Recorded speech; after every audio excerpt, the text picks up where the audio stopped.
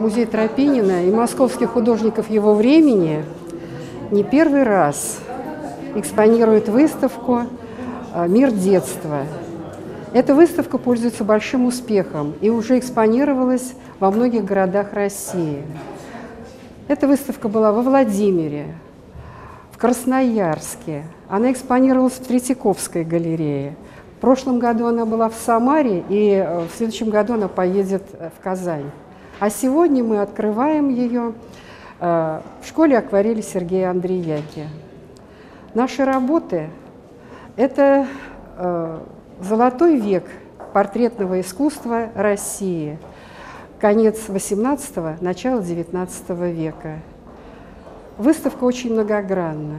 На ней представлен сословный портрет, так же, как во взрослом обществе, так и дети. Это и дворянские дети, и купеческие, и представитель э, династии Романовых, э, великий князь Павел Петрович э, в юности, и э, крестьянские дети. Все э, грани российского общества. Все отражены на этой выставке.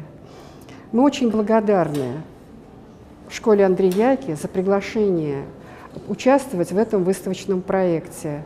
Проект начинался с нашего музея, но он постепенно обрастал участниками и превратился в большой многогранный проект, в котором, э, как мне известно, участников много. И тем самым выставка стала очень интересна для родителей, детей.